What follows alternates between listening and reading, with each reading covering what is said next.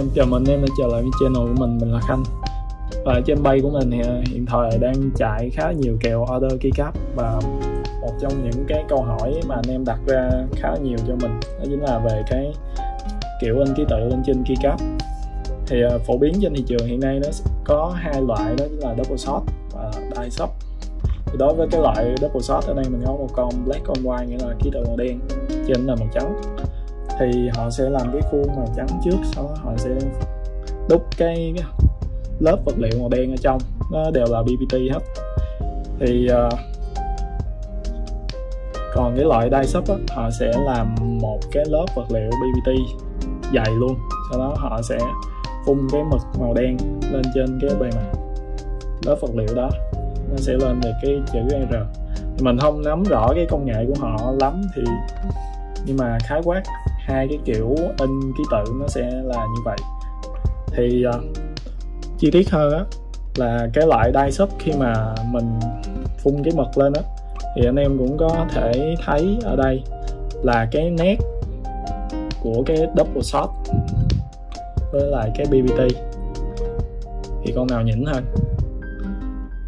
Chính là cái loại uh, double shot. Thì ờ, thường cho những cái bộ double shot, họ sẽ chọn cái phông chữ là cái phông chữ nét vuông như thế này.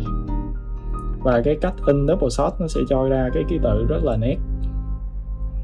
Còn đối với cái loại die shop họ sẽ thường chọn cái ký tự mà nó có cái nét tròn như vậy. Tại vì cái cách in die shop nó sẽ à, thường để lại răng cưa. Và khó mà làm những cái bộ keycap nó có cái dạng uh, ký tự mà nét nó vuông như vậy họ sẽ thường chọn cái nét tròn thì đối với và về màu sắc á, thì cái loại double shot nó sẽ cho cái màu tươi hơn như nào cũng vậy. Còn cái loại dye shop khi mà in mực lên nó có thể bị nhạt hơn so với lúc uh, so với cái lúc mà họ cho ra cái ảnh render á, thì thường thường là in cái kiểu dye shop nó sẽ cho cái màu nhạt hơn tuy nhiên là nếu mà so sánh qua âm gõ thì về ngoại hình đó khi mà mình so sánh thì anh em cũng có thể thấy là mình đánh giá cao cái con double shot hơn cái loại đai sub nhưng mà khi mà về âm thanh đó anh em nghe nè.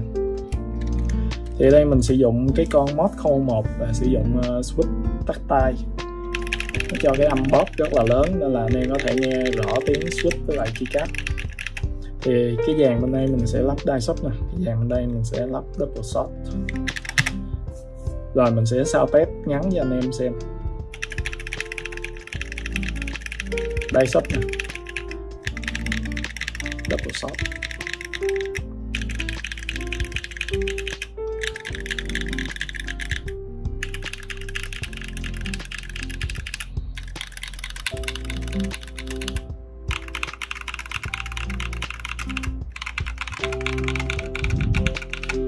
thì sau cái đoạn sau test ngắn đó, anh em cũng đã có thể nhận ra một tí xíu, đó là ở bên cái đai shop nó sẽ cho một cái tiếng nó hiền hơn, hay còn gọi là cái tiếng nó đậm.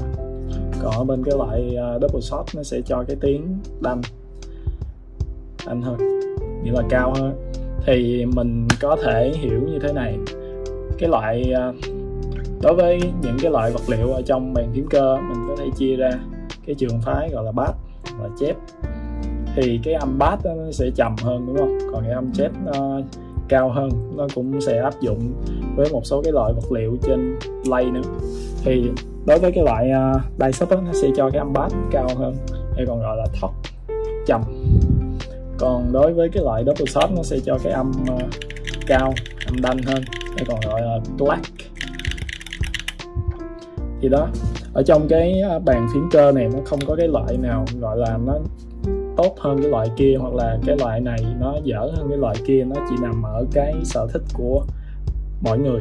Thì uh, mình hy vọng là qua cái video này anh em có thể chọn cho mình một bộ keycap phù hợp. Rồi rất cảm ơn anh em đã xem hết video và sau đây mình sẽ đưa lên hai cái đoạn uh, thai test.